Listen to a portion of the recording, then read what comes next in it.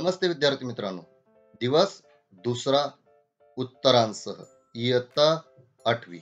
विषय इतिहास.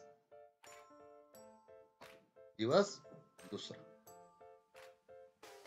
सर्वप्रथम काही प्रश्न आठवे पहा. शिवपूर्वकालीन भारत म्हणजे काय? म्हणजे छत्रपती शिवाजी महाराज यांच्या पूर्वीचा भारत. शिवपूर्वकालीन भारतामध्ये कोणकोणत्या परकीयांचे साम्राज्य भारतात होते? जसं मुघलांचे होतं सुलतानशाही वगैरे.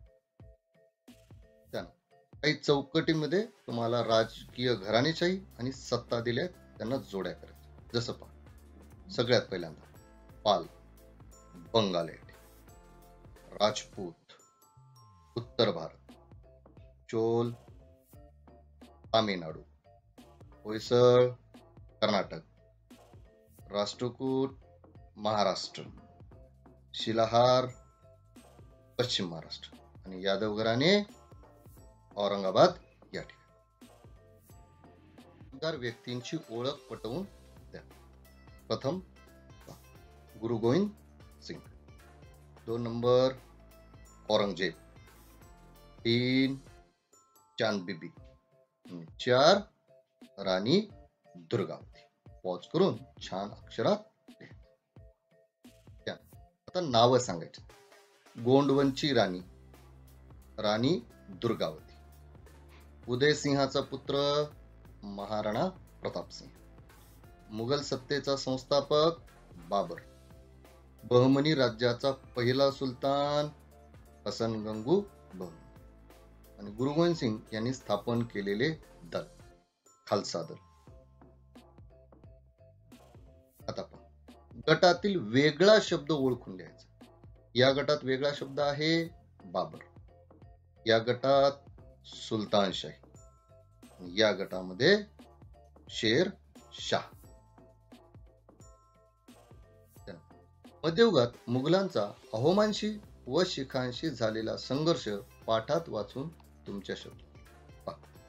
औरंगजेबाच्या काळात अहोमांचा मुघलांशी दीर्घकाळ संघर्ष झाला. अहोमांनी मुघलांविरुद्धच्या संघर्षात गनिमी युद्ध तंत्राचा अवलंब केला त्यामुळे मुघलांना आसाममध्ये आपली सत्ता दृढ करणे अशक्य झाले. तसेच औरंगजेबाचे असहिष्णू धार्मिक धोरण शिखांचे नववे गुरु गुरु तेग बहादर यांना अमान्य होते. औरंगजेबाने त्यांना कैद करून सोळाशे पंच्याहत्तरमध्ये त्यांचा शिरच्छेद केला. शिखांचे दहावे धर्मगुरु गुरु गोविंद सिंग यांनी आनंदपूर येथे लढाऊ शीख तरुणांचे खालसा दल स्थापन केले. नांदेड येथे सतराशे आठमध्ये गुरु गोविंद सिंग यांच्यावर झालेल्या हल्ल्यात ते जखमी होऊन पुढे त्यांचा अंत व्यवस्थित पाहून वाचू. त्यानंतर एक उतारा दिलाय. त्या उताराच्या संबंधित महाराष्ट्रात कोणत्या स्थानिक घराण्याची सत्ता? राष्ट्रकूट यात. सिंध प्रांतावर कोणी स्वारी केली? मोहम्मद बिन कासिम. भारतावर तुर्कांची आक्रमण कधी झाली? इसवी सनाच्या अकराव्या शतक योग्य निष्कर्ष काय निघेल?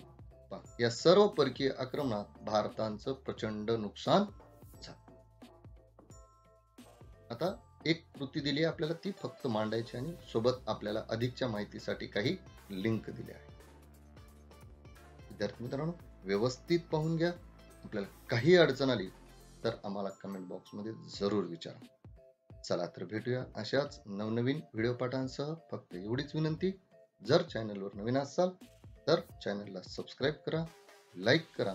आपल्या मित्रमैत्रींना शेअर नक्की चला तर भेटूया उद्याच्या. धन्यवाद. नमस्ते.